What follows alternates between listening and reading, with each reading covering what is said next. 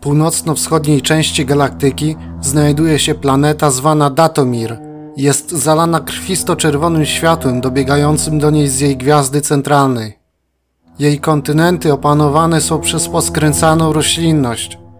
Nie brakuje tam również lasów z powyginanych drzew, na których rosną ogromne, podobne do kokonów owoce. Lasy te graniczą z gęstymi bagnami oraz masywnymi skalnymi fortecami.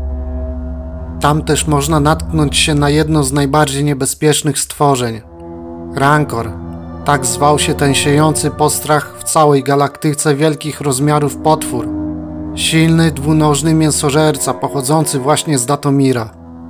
Chociaż znajdowano je również na innych planetach, prawdopodobnie nimi handlowano, to jednak to okazy z Datomira są silniejsze oraz inteligentniejsze od pozostałych. Rankory były używane w wielu celach. Wiedźmy z Datomira używały ich jako wierzchowców. Inne pracowały w polu. Tak było na planecie Felucia. Rankory z tej planety żyły w stosunkowo spokojnym współistnieniu z rdzennymi mieszkańcami, którzy zazwyczaj zajmowali się rolnictwem.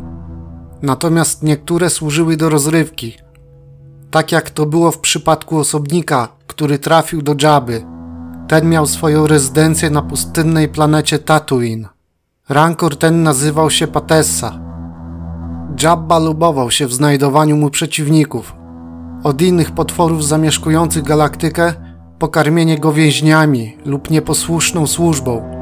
Zabawa ta sprawiała mu wiele radości, za to dla wybrańców wcale nie była zabawna.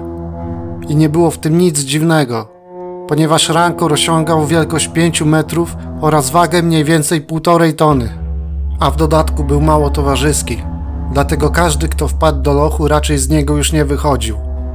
Patessą zajmował się Malakili. Pochodził z planety Korelia. Większość swojego dzieciństwa spędził w slumsach księżyca Nar Shaddaa.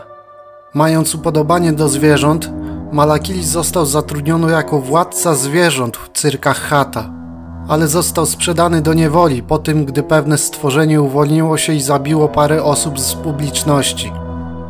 Następnie zakupiony przez Jabę, Malakili służył jako dozorca stworzeń w pałacu Jaby na Tatooine.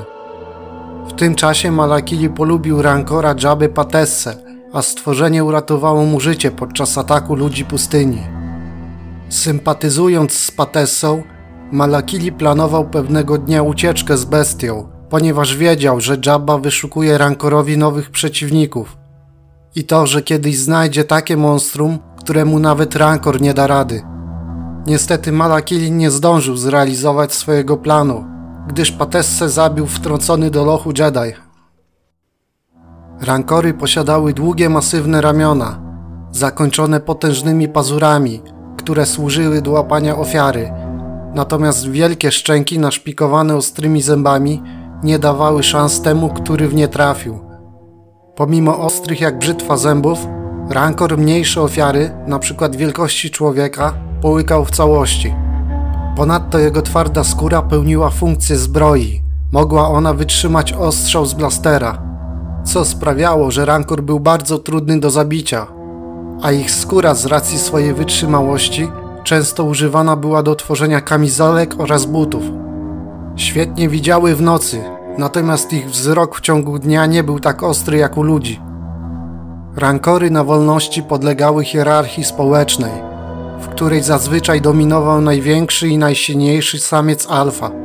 Rankory często walczyły o dominację, jednak pomimo groźnego wyglądu zazwyczaj były w miarę łagodne z natury. Natomiast sprowokowane wpadały w szał, co ujawniało ich drugą ciemną stronę. Rankory bardzo dbały o swoje młode, które osiągały około 3 metrów i do momentu osiągnięcia większych rozmiarów podróżowały na swej matce, zazwyczaj na jej plecach lub na brzuchu. Jednak pomimo swojej opiekuńczej natury zdarzały się sytuacje, gdzie matka pożerała swoje młode. Istniało parę podgatunków rankorów. Na planecie Sokoro zamieszkiwał mniejszy gatunek rankora o nazwie Trakor – Różnił się rozmiarem, ten osiągał wielkość około 2,5 metra oraz tym, że żył w środowisku wodnym. Natomiast większym gatunkiem był ból rancor. Zamieszkiwał głównie dżunglę na planecie Felucia. Odznaczał się innym kolorem skóry, zazwyczaj szaro-niebieskim oraz wydłużonym ogonem i ogromnymi rogami w przypadku samców.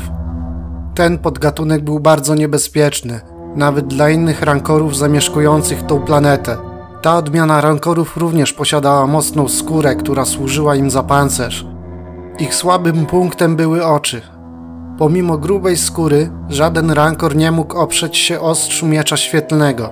Felucjanie byli przekonani, że tego podgatunku nie da się schwytać ani oswoić.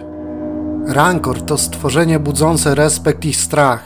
Zamieszkuje wiele światów i tak naprawdę nie wiadomo, na ilu z nich ewoluowały w inne podgatunki.